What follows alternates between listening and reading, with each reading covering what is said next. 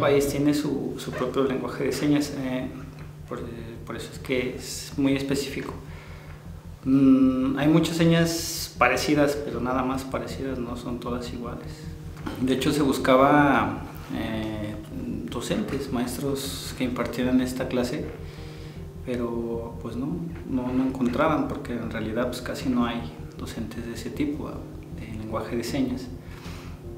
Entonces, este, pues recurren a, a la estancia de las seis personas con discapacidad, en donde pues ahí no trabajo, pero cada rato voy por, iba por apoyos, por si lo iban sordos, y me pedían que apoyara a esos sordos, ayudarlos a llevarlos al seguro o a algún problema que tuvieran, este, pues ya yo asistía a ese lugar.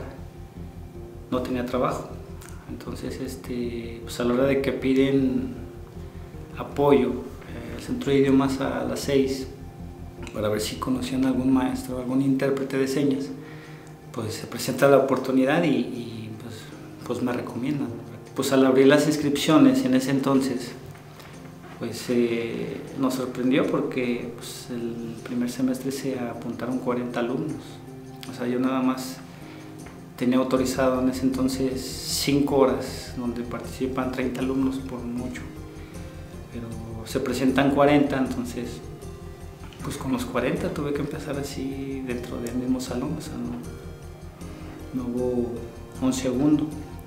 Pues muchos de ellos son alumnos de la normal, otros son maestros de, de la SEC, otros son maestros de educación especial.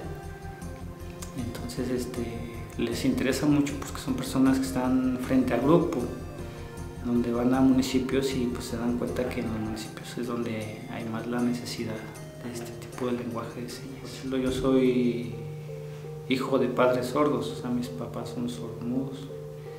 Entonces de ahí es donde se le llama, bueno, yo le llamo necesidad, ¿no? Porque pues desde chiquito pues, uno tiene que pedir de comer, ¿no? Tiene que pedir que le den algo, entonces tiene uno que aprender desde muy chico para pues para saber pedir las cosas ¿no?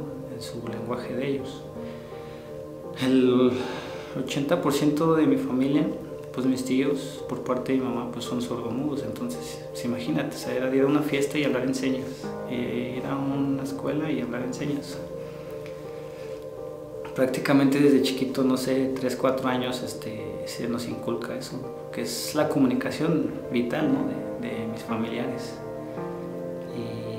a base de eso, pues nos damos cuenta que, pues que sí es importante porque pues tenemos, tenía, cuando tengo sobrinos sordos que iban a la primaria y nos pedían apoyo los, los tíos porque, oye, pues es que no sabe leer, no sabe escribir.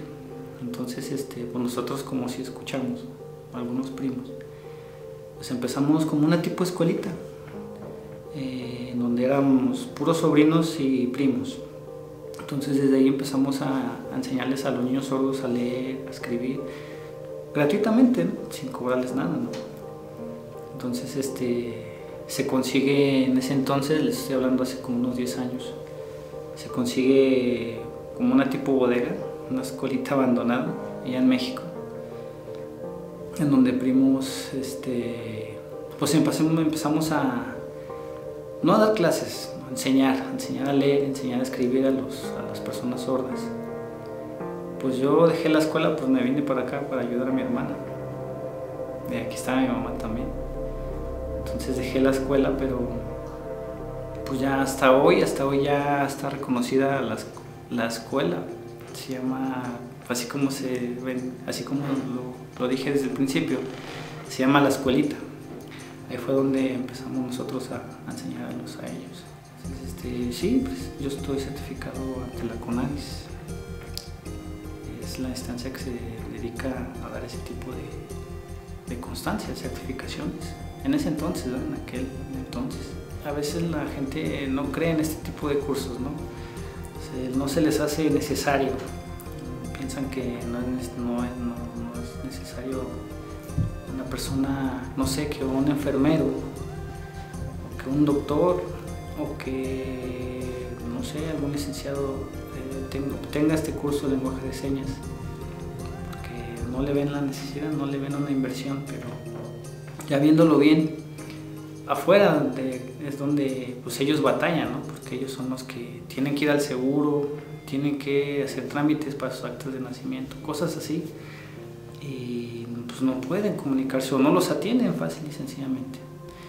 Lo más gratificante es de pues ver a las personas sordas que pues que te dan las gracias y aparte pues que dejas algo bonito, ¿no? O sea, les ayudas y sabes que si no hubiera sido por ti a lo mejor algo les hubiera pasado, ¿no? Algo, ah, vaya, llamándolo por enfermedad. Si no llevas a una persona sorda para que lo atiendan y su enfermedad es muy grave, pues imagínate, ¿no? Hasta dónde iba a llegar. cuando te das cuenta que, esa persona se recupera y te ve en el camión, en el centro, y te saluda y, les da gusto verte y te dicen que muchas gracias, pues yo creo que pues sí, hasta ahorita se me hace suficiente.